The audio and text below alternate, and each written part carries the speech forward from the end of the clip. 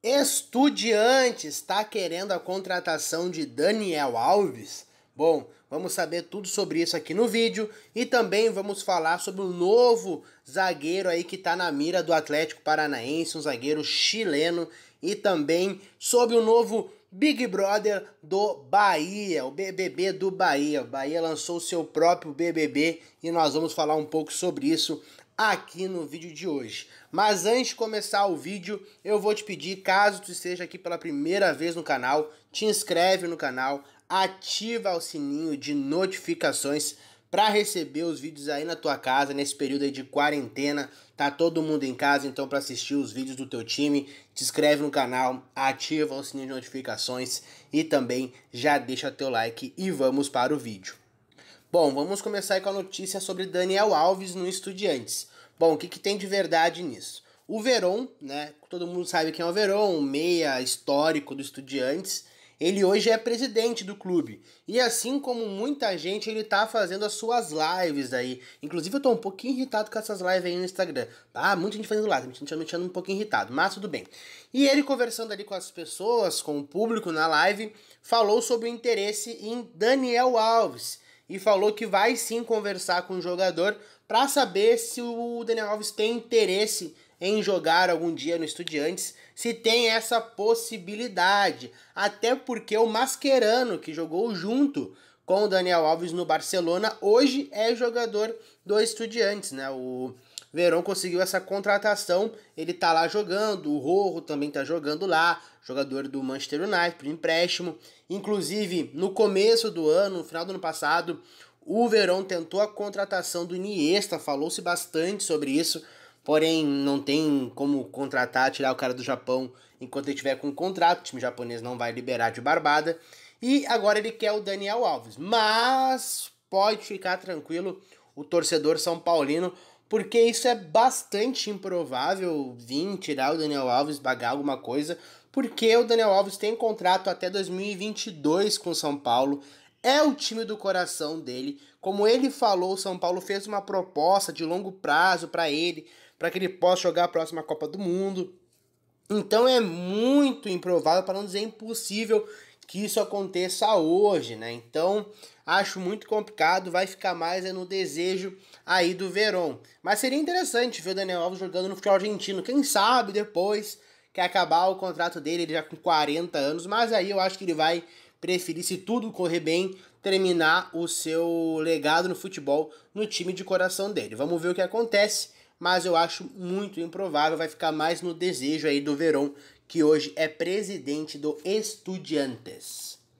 Bom, segunda notícia aí sobre o Atlético Paranaense, que está de olho num zagueiro da Universidade Católica do Chile, que é o Benjamin Kusevich. Zagueiro aí bastante promissor, zagueiro chileno, que o Dorival e seu assistente foram assistir o jogo da Universidade Católica contra o América de Cali eles que estão no grupo do Inter, eles foram assistir e ficaram bastante impressionados, acredito eu, com o zagueiro, para que surja essa proposta, esse interesse do Atlético Paranense no jogador. Ele que é um jogador que já defendeu a seleção chilena e também possui nacionalidade croata, dá para ver pelo nome dele, né? Kusevic.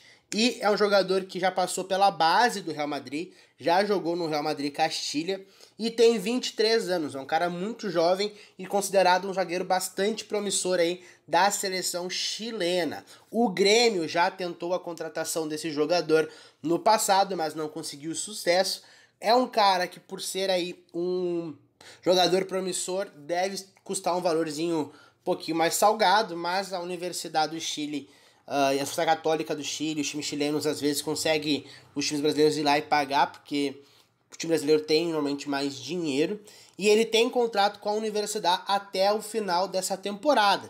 Então, de repente, vale a pena ficar ali no radar. Se não fechar agora, pode fechar de graça no final do ano e até assinar um pré-contrato no meio da temporada agora. Eu acho que pelo que eu acompanhei desse jogador, pelo que eu vi um pouco desse jogador, seria sim uma boa contratação. Eu acho que o Atlético Paranaense precisa contratar um zagueiro, porque pode perder o Bambu, contratou agora o Aguilar, a maior contratação da sua história foi um zagueiro.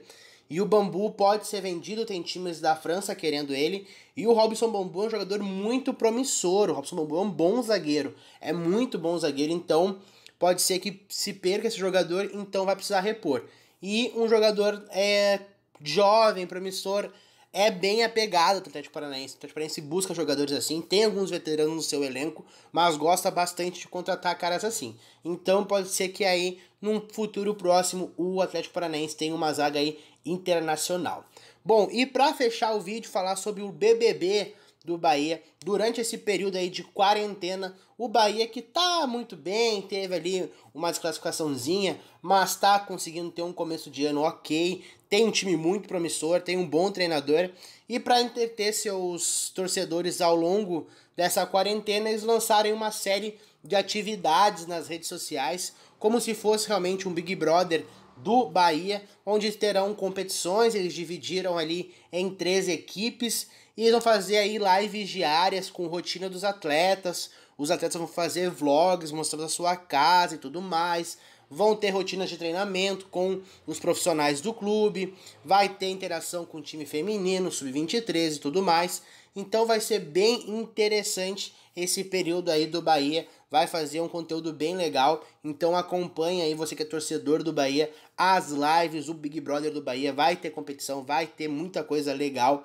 E agora na quarta-feira vai ter uma live do presidente do Bahia conversando com os torcedores. Então você que é torcedor baiano e que também não é torcedor baiano, mas que quer acompanhar aí essa interação do Bahia com os seus torcedores, com o público, vá lá, é bem legal, achei bastante interessante aí a iniciativa do Bahia de promover esse tipo de entretenimento, esse tipo de relação com o seu torcedor ao longo do período da quarentena. Muito obrigado por ter assistido até aqui. Comenta aí embaixo o que, que tu acha do Big Brother do Bahia, o que, que tu acha sobre esse novo zagueiro que tá na mira do Furacão aí pra temporada agora ou pra próxima. E o que, que tu acha desse interesse aí do Verón em levar o Daniel Alves para os estudiantes? Comenta aí embaixo livremente, fala a sua opinião, deixa teu like no vídeo. Até o próximo e tchau, tchau.